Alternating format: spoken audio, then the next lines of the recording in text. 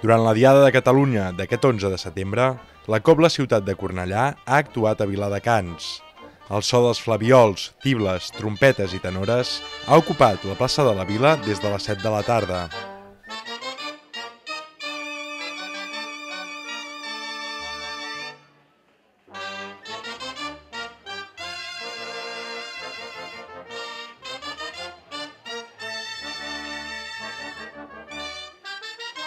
Mica en mica, els assistents s'han animat a sumar-se a la sardana que s'ha format al centre de la plaça.